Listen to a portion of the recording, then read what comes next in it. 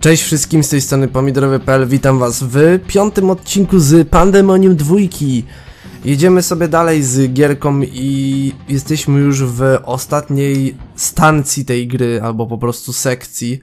Bo jak pamiętacie, cała ta planeta w Pandemonium dzieli się po prostu na cztery takie podplanety. Dobrze to w ogóle mówię?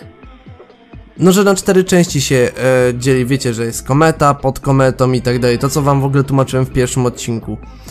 No i cóż, jedziemy sobie z koksem z kolejnym poziomem. Jak widzicie, tło już nas w tym momencie e, w pewien sposób zaskakuje, że no, będzie tutaj gruba zabawa.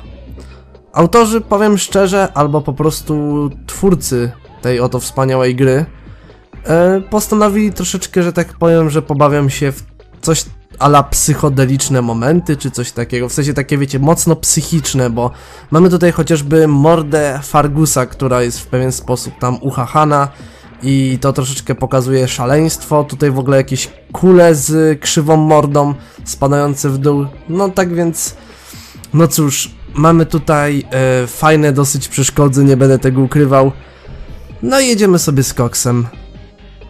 Powiem szczerze, że te poziomy w fajny sposób zostały pod koniec gry zrobione. W sensie, że ta widać, że to już jest końcówka gry, bo dosłownie y, zmiana otoczenia plus to, że nie wiem, taki klimat końca już gry jest. Mogę się mylić, ale odczuwa się to, że po prostu to już y, jakby jest pokazane to, że na polskie to powiedzieć bardzo ciężko. Wybaczcie za to. E, tak czy siak mamy tutaj nowego przeciwnika, czyli taką czarodzie... czarownicę, czaro... czarodzieja, który rzuca na nas zaklęcia i po prostu musimy go unicestwić, żeby ta ściana się nam e, otworzyła. Oczywiście nie powinno być dla was tajemnicą to, że kiedy zadamy mu 5 ciosów, to on ginie i zwraca nam serduszka, tak jak w tym momencie. Tak jak widzicie, już mam e, jakby drugą sekwencję swojego życia, bo... Znaczy życia Niki bardziej, bo tak naprawdę mam trzy upgrade zdrowia. Mam ten standardowy, czyli ten czerwony, pomarańczowy oraz żółty. Wiem, że są jeszcze te zielone, niebieskie, fioletowe, czy jakoś tak, bo tam jest bod bodajże ich 6 albo 7, ale tych pozostałych nie wiedzieć czemu nie udało mi się odblokować. Nie wiem, czy to jest przez pryzmat kodów, że one za pomocą kodów można je odblokować, czy Bóg wie za co. Serio, naprawdę nie wiem. Wiem, że w ogóle też licznik życia się troszeczkę zbagował, Chyba przez emulator. Nie mam zielonego pojęcia w jakim innym e, wypadku mogło się to zdarzyć.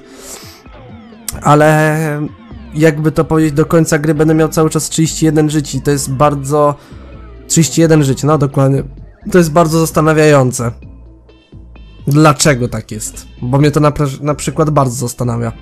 Swoją drogą ten czarodziej, który właśnie nas tam e, przytrzymuje, no to e, no w każdym razie on jest wymagany do, jak widzieliście, do pokonania, bo e, żeby dostać się dalej, to trzeba właśnie między innymi go unicestwić. Tutaj również będą bobelki, które nas będą e, odbijały na samą górę i nam jakby pomagały przedostać się w ogóle na górę, tak swoją drogą. No i tak jak widzicie tutaj, proszę bardzo, bąbelek, który nas sobie tutaj odbija, Dzisiaj w ogóle w dzisiejszym odcinku będziemy robili właśnie ten poziom, następny oraz trzeci poziom, który jest moim zdaniem jednym z średnich poziomów. Mogę nawet powiedzieć, że jest troszeczkę taki lekko gówniany. Nie zrozumcie mnie źle, ja lubię bardzo jak gra pokazuje swoje, wiecie, ostatnie soki dosłownie, żeby tam, wiecie, trochę podhypować, żeby finał gry nie był jakiś taki denny. Ale mam wrażenie, że ostatni poziom, ten taki platformowy przed walką z Zorszą, jest po prostu trochę na siłę zrobiony. Bo zasada w tym poziomie jest taka, że tam musisz e, z punktu A dostać się do punktu B, przy okazji zahaczając o punkt C, no i tam jeszcze, wiecie, e, przechodzić przez różne, różne rozwidlenia. Bo o co w tym poziomie chodzi? Po prostu wytłumaczę to w taki dosyć kolokwialny sposób, o ile dobrze mnie zrozumiecie. Załóżmy, mamy coś takiego jak e, instalacja kabli w różnych takich urządzeniach pokroju pralka i tak dalej. No i jak na instrukcji pisze, musicie tam podłączyć załóżmy kabel jeden do kabla drugiego albo tam do odpowiedniego gniazdka, co nie? Tak też jest troszeczkę z tym poziomem. Tam co prawda głównym atutem są dźwignie, które odblokują wam drzwi odpowiednie. I zasada jest bardzo prosta w tym poziomie. w tym sensie przedostatnim, który skrawek tego poziomu zobaczycie. Swoją drogą teraz będziemy walczyli z Zorszą, chociaż to nie jest walka już z finałowym bossem, bo Zorsza tutaj się będzie śmiała i rzucała na nas jakieś czary, ale my będziemy sobie z nią jakoś dawali radę. Tak mogę powiedzieć, bo ona jest tylko tutaj w celach pokazyjnych. Bo konfrontacja z nią jest zupełnie inna.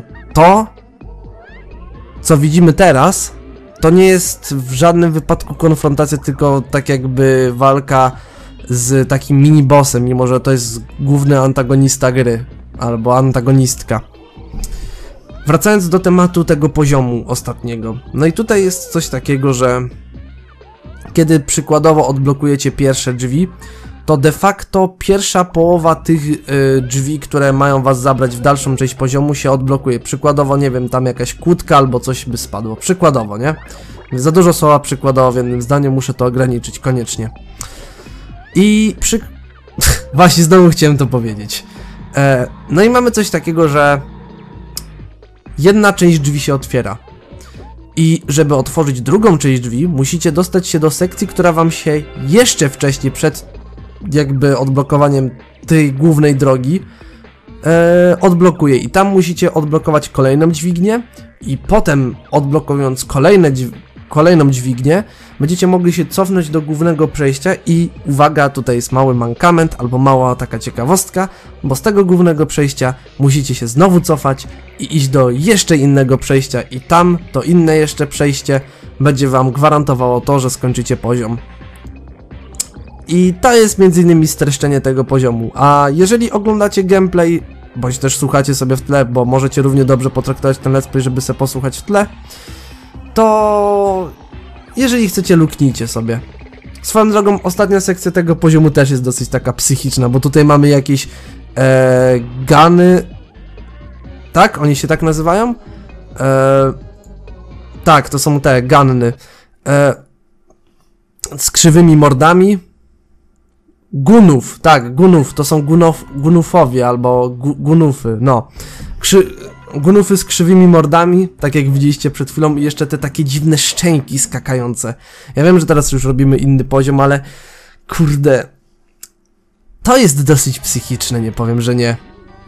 Swoją drogą jeszcze tam żeśmy transportowali te słodkie małe e, zwierzątka, które żeśmy w poprzednich poziomach tam e, mieli zadanie. Nie pamiętam, czy to było właśnie w trzecim czy czwartym odcinku, bodajże w czwartym, ale mogę się mylić. Były tam takie wielkie skrzynki, które miały nam odblokować właśnie te, te, te małe słodkie zwierzątka. No i tutaj znowu powrót tych czarodziei, ponieważ jako, że raz byli pokazani, to wiecie, teraz z tradycją Crystal Dynamics, jeżeli chodzi o serię Pandemonium, to tutaj trzeba właśnie ich jeszcze bardziej wpieprzyć, bo wiecie, trzeba podpromować nowego przeciwnika, w sensie wypromować w pewien stopniu, no bo no, gdybyśmy mieli tego przeciwnika tylko przez chwilę, no to no byłoby słabo. Innymi słowy. A teraz łyka sobie strzelę Coca-Coli.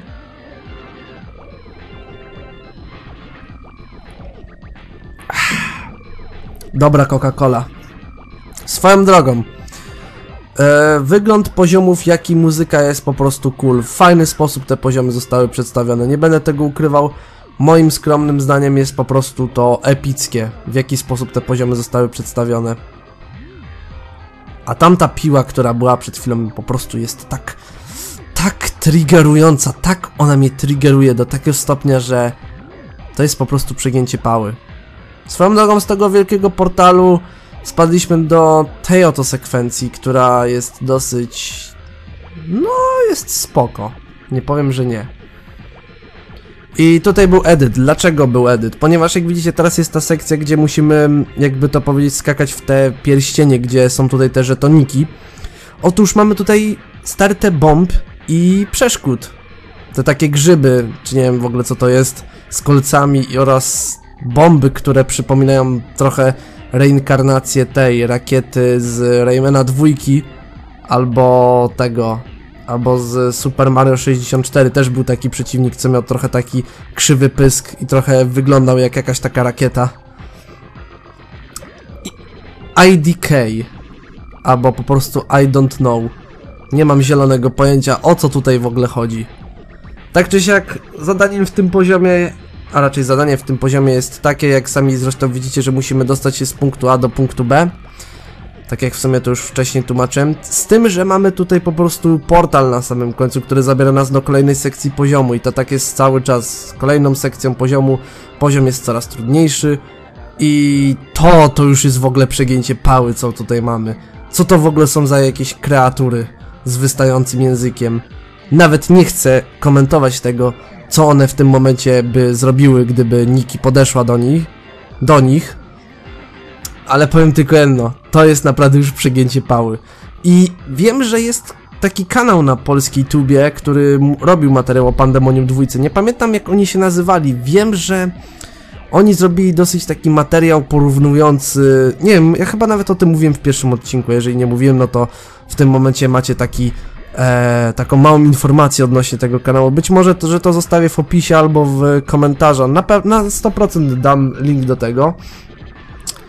Zrobili materiał o Pandemonium dwójce i moim zdaniem troszeczkę nie do końca się z tym materiałem zgodzę, bo to było takie troszeczkę porównanie Pandemonium dwójki do LSD Simulator, czyli jakoś tak, nie pamiętam czy to właśnie było do LSD Simulator, czy do jakiejś innej gierki. W każdym bądź razie jak dla mnie nietrafne porównanie, I guess. Słabo trochę mi się to oglądało. Znaczy, ja nie mówię, że materiał był jakiś tam słaby, bo w fajny sposób jednak to było przedstawione. Mój problem, jaki ja miałem do tego materiału, był taki, że. Oh, fuck, i tego nie wyedytowałem? No cóż, macie tutaj, e, że tak powiem. No nie będę ukrywał, wczytałem sobie load state'a, ponieważ spieprzyłem sprawę, jak sami zresztą widzieliście przed chwilą. I mam nadzieję, że to jest tylko jednorazowa taka spieprz... jednorazowe takie spieprzenie akcji. Zobaczmy. Tak, jednorazowe, ponieważ na ten owad, na to coś, na tą pszczołę spadło kowadło niczym z Looney Tunes. E, tak czy siak, ci ziomkowie z tamtego kanału, co zrobili materiał o Pandemonium dwójce, tam bodajże to była kobieta, która podkładała tam głos w scenariuszu do tego materiału. No, dla mnie był ok, ale takie porównanie Pandemonium 2 do LSD Simulator, czy do jakiejś tam tej gierki, nie pamiętam jak ona się nazywa. Chyba to było właśnie LSD Simulator. To tro trochę takie nietrafne porównanie, moim zdaniem. Tym bardziej, że Pandemonium, no, ciężko jest porównać do LSD. Dobra, ona ma, jakby to powiedzieć, swoje e, momenty lekkiej schizy, momenty takiej trochę niepewności, troszeczkę takiego, można by powiedzieć, że no, no wiecie o co mi chodzi, że po prostu jest trochę taka tajemnicza, jest trochę taka właśnie pod pewnym względem trochę dziwna, dziwną grą, mimo że jest dla mnie spoko, ale osobiście jest dosyć specyficzną. O, to jest to słowo, specyficzną grą. To jednak no porównanie do LSD Simulator dla mnie to troszeczkę no nietrafne porównanie, ale to jest moje zdanie, mam nadzieję, że nikt nie będzie miał do mnie o to żalu i pretensji i tak dalej, bo pamiętajcie, my friend, chłopaki, kobiety i mężczyźni, dziewczyny i chłopaki, ja, ja wyrażam tylko swoją opinię i w tym momencie to jest tylko czyste podejście do zagadnienia z mojej strony. Wy możecie uważać inaczej, ja uważam inaczej. A teraz pamiętajcie co złego to nie trzymajcie się, cześć i bajo. Żartuję oczywiście sobie. Tak w ogóle, pamiętacie jak wspominałem wam o tym poziomie z tym troszeczkę takim zawijasem, że tutaj z punktu A do punktu B w ogóle tutaj dźwignia, tu, tam i tak dalej. To właśnie to jest ten poziom, o którym wam mówiłem. To jest najdłuższy poziom w historii całego Pandemonium. Serio, walkthrougherzy, longplayerzy, w ogóle siedząc w tym poziomie siedzą przynajmniej z pół godziny, jak nie 40 minut na nagraniach. Nie wiem, czy to jest właściwie przez pryzmat tego, czy oni tam nie edytowali tych klipów, bo jeden z tych ziomów, którego prawdopodobnie zakończenie dam, e, w sensie zakończenie Fargusa dam w ostatnim odcinku, bo powiem wam szczerze, że nie widzi mi się walczyć z powrotem z Zorszą. Mimo, że jest łatwym bossem, to jednak... E, oh man! No z Fargusem i jego mozolnym sterowaniem może to trwać wieczność. Tak czy siak, jak dam ending Fargusa od jednego z tych ziomów, to między innymi jeden właśnie z nich, tam bodajże trzech było takich, co z pół godziny siedzieli w tym poziomie, jak nie 40 minut, no to właśnie, no jeden z nich właśnie między innymi tam długo siedział i nie edytował właśnie swojego klipu. I to nie jest tak, że ja w tym momencie y, to jest jakby łatka do tego, żebym, żebym ja się do kogoś przysrał, że hej, macie montować, w ogóle macie ukrócać swoje gameplaye i tak dalej, i tak dalej, żeby wiecie, czas antenowy i tak dalej. Żeby, kurde, najlepiej dobić do 10 minut i tak dalej, żeby widz mógł sobie obejrzeć. Nie. Ponieważ, szczerze powiedziawszy, jeżeli ktoś robi walkthrough, to trochę to jest niepisana zasada, powiem szczerze, ale może ja to powiem tu i teraz głośno. Jak dla mnie to mogą sobie na to pozwolić, bo to są walkthroughy bez żadnego komentarza głosowego. Ja mógłbym robić tak, że dobiłbym do 10 minut i wstawiałbym codziennie 10-minutowe odcinki, zwłaszcza tym bardziej z Pandemonium. Wiecie dlaczego nie chcę tego zrobić? Bo z jednej strony szanuję wasz czas, mimo że możecie powiedzieć, że hej, 10-minutowe są lepsze odcinki do oglądania, bo są krótsze. Ale są osoby, co lubią dłuższe odcinki pooglądać, to raz. To jest uno, dos. Tą serię bym wtedy robił, kurde, z 10 odcinków, a tak to przynajmniej będzie z 6 odcinków. To już jest bardziej niż pewne, że będzie 6 odcinków. I zanim dokończę, tutaj macie mapę, która wam pokazuje, gdzie jesteśmy aktualnie tym X-em, tak jak widzieliście ten taki czerwony Xik. I to jest między innymi sekwencja, o której wam mówiłem, czyli po prostu musicie uruchomić pierwszą dźwignię, dostać się do sekwencji, w tym wypadku do tej co ja się dostałem, uruchomić drugą dźwignię, druga dźwignia uruchomi pierwszą połowę drzwi, które mają nas zaprowadzić do dalszej sekcji poziomu, potem znowu się cofamy, znowu inna dźwignia i tak w kółko Macieju przez pieprzone 30 minut albo 40. Eee, tak więc to jest między innymi to, co się dzieje w tym poziomie. Soundtrack, jaki ma ten poziom, jest taki sobie, powiem szczerze. Nie mówię, że on jest jakiś taki wiecie, krapiasty, że w ogóle jakie gówno weźcie, w ogóle wyłączcie mi to normalnie, ogłuchłem, nie wiem, bębenki mi się zatkały w uszach czy coś. Po prostu jak dla mnie jest taki inny, taki średni. Nie będę tego ukrywał. Ja wyrażam tylko swoje zdanie. Swoją drogą jeszcze właśnie kończąc moją myśl, ee, więc jak dla mnie walktrutherzy mają może taką trochę niepisaną zasadę, albo po prostu taką furtkę. No i to jest w ogóle ta połowa drzwi. Zielona część drzwi się otworzyła, teraz jeszcze niebieska. Walktrutherzy mają właśnie takie taką trochę furtkę, że oni trochę mogą sobie na to pozwolić, bo oni jakby tylko wrzucają wideo, czasami nawet nieobrobione, po prostu surowe nagranie mogą sobie wrzucić i tyle bo nie jest to z komentarzem głosowym, tylko po prostu hej, pooglądacie sobie mój gameplay, jaki nagrałem dla was. Ja wam powiem szczerze, że ja kiedyś planowałem być walktrutherem za czasów, kiedy zaczynałem z kanałem, że tak chciałem niegłosowo nagrywać, że po prostu tylko walktruthy, ewentualnie jakbym zrobił jakiegoś live'a, to byście usłyszeli mój głos, byście zobaczyli kim ja jestem w ogóle, co ja w ogóle robię na tym YouTubie, dlaczego nazwałem się tak, a nie inaczej, dlaczego w ogóle podjąłem się YouTube'a i tak dalej, i tak dalej, ale potem stwierdziłem, że kurde, walktruthy w Polsce by się raczej nie przyjęły tak bardzo. Wiem, że dużo jest walktrutherów w Polsce, chociażby ta Akusa Chan, czy jakoś tak. Ją kiedyś tam polecałem na tym, na moim kanale. Ona tam robiła walkthroughy właśnie z Bugs Bunny Lost in Time.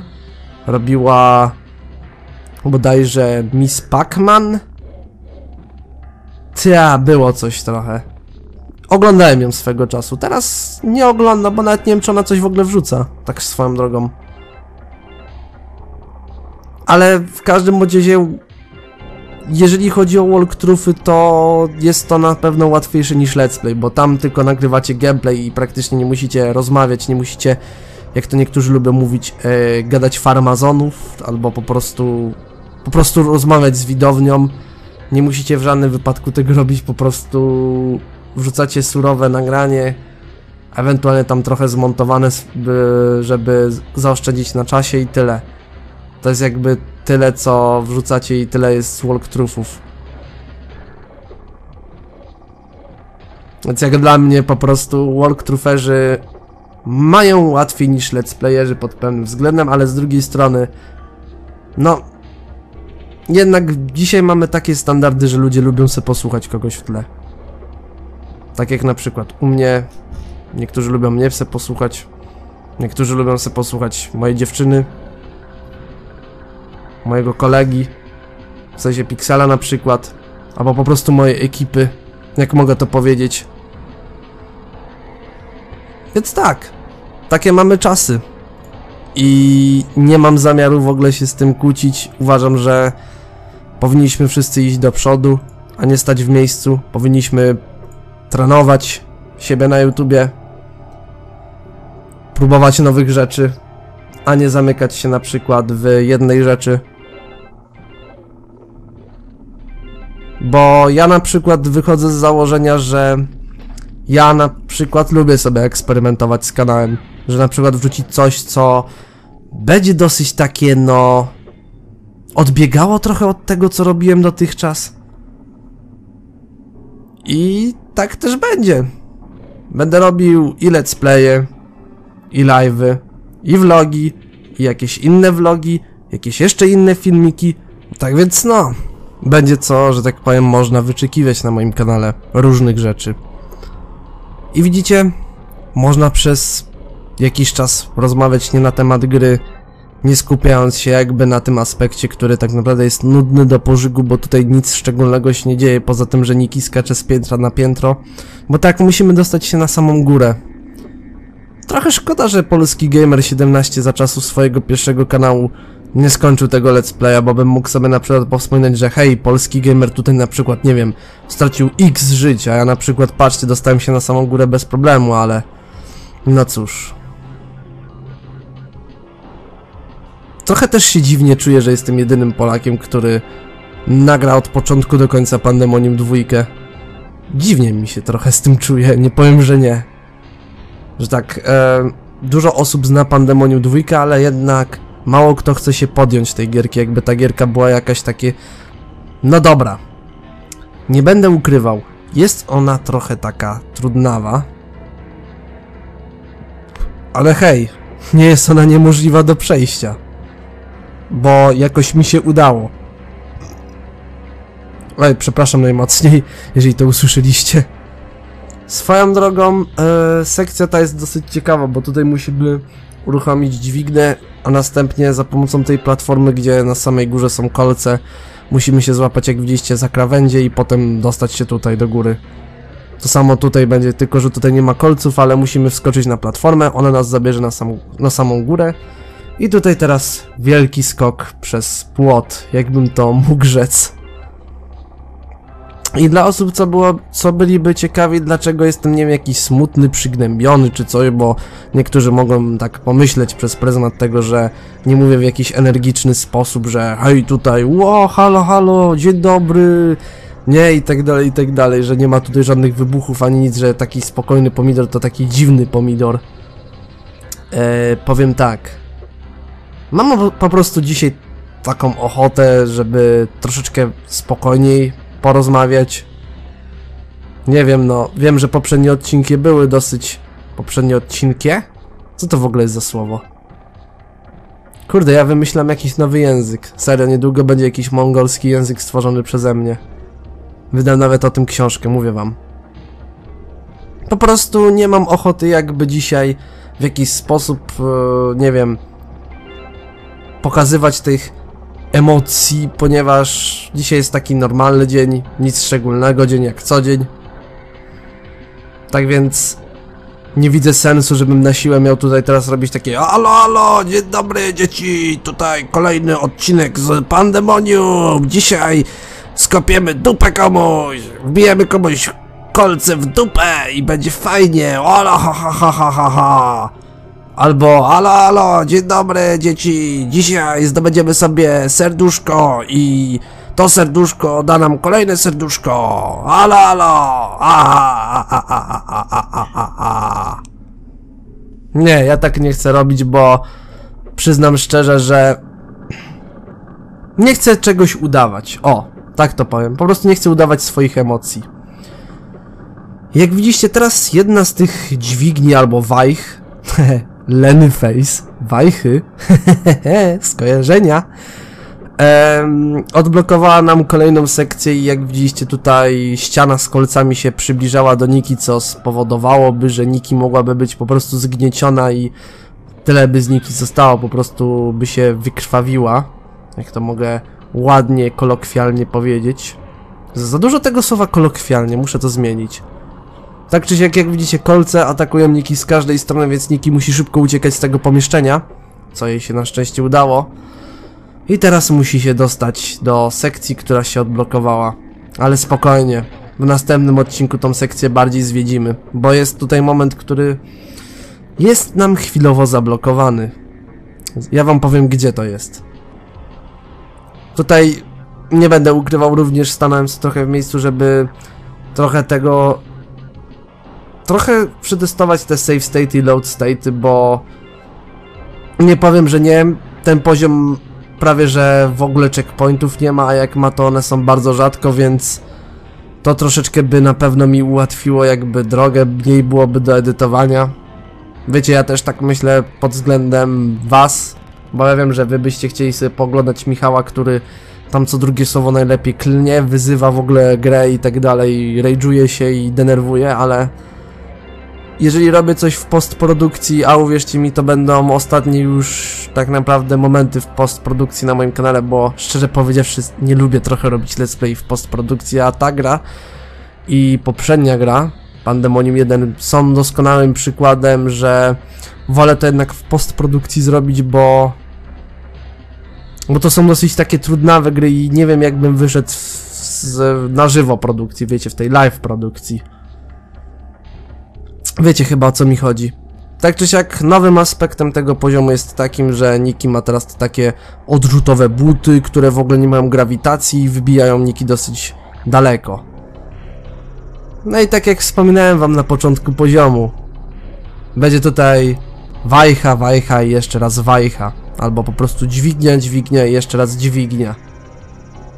Z poziomu na poziom, albo z sekcji na sekcję z tego poziomu po prostu coraz to więcej przycisków, coraz to więcej dźwigni trzeba będzie uruchomić, żeby po prostu dostać się dalej. Dalej, dalej, dalej i o ironio, jeszcze raz dalej. I tutaj w ogóle jakaś woda z kwasem jest. Toksyczna woda. Jezu, jaka ona jest toxic. O mój Boże, jaka ona...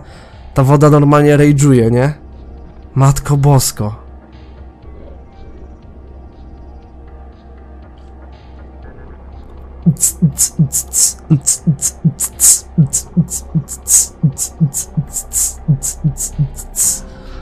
Dobra. I dostańmy się może tam, na drugą stronę. Dobra, wajcha uruchomiona i druga połowa drzwi będzie już odblokowana. Ta fioletowa część. Jej! Mamy to! No i mamy tutaj serduszko zdobyte. No i będziemy sobie już kończyć odcinek, bo zbliżamy się już do końca czasu antenowego. Tutaj będziemy się żegnać, a raczej ja się będę żegnał z wami bo następna część tego poziomu będzie dopiero w ostatnim odcinku, tak więc widzimy się w wielkim finale tej gry. Mam nadzieję, że jestem informatywny, w sposób ciekawy prowadzę let's play, że jesteś na, na tym kanale i spodobał Ci się mój content. Zapraszam do subskrypcji kanału, kliknięcia w dzwoneczek oraz zostaw jakiś komentarz po sobie widzu. Napisz, czy Ci się seria podoba, czy nie. I wbijaj również na grupę. Wszystkie linki do social mediów w opisie. Do zobaczenia, do usłyszenia. Cześć!